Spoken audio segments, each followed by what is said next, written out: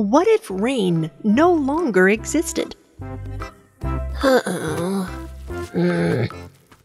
I wonder, what's wrong? Mommy said I have to take a bath because it's raining outside. And I'm stinky. Aw, that's too bad, Wonder. At least you get to play in the bathtub. Where did rain come from anyway? Well, scientifically, rain droplets form from tiny dust particles in the air, which gather up humidity in the sky until they are ready to fall. Imagine how different our world would be without rain now. Rain feeds vegetation.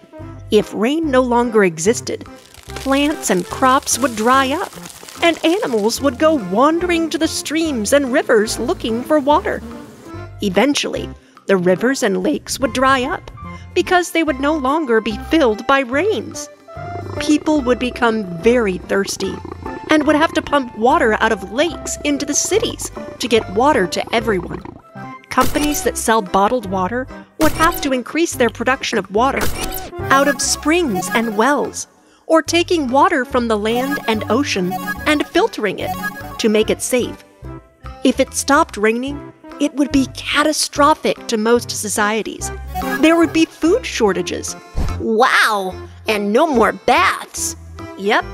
Good thing we have water, though, for your bubble bath.